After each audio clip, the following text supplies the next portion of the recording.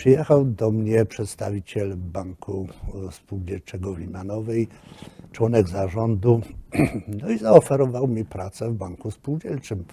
A było to przeddzień, jakby powiedzieć, planowanej reformy administracji terenowej, gdzie pojawiały się takie nowe organizmy jak gminy. I mm, wtedy właśnie postanowiono, że w każdej gminie ma być bank spółdzielczy albo oddział banku spółdzielczego, który zajmuje się obsługą finansową e, ludności i tej właśnie gminy.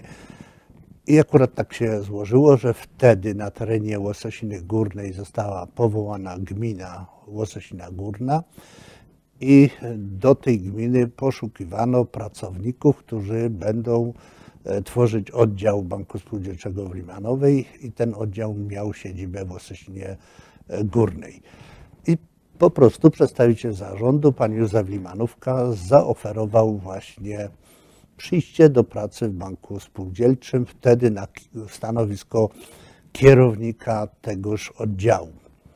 No i tak. Tak się zaczęło. Tak się zaczęło.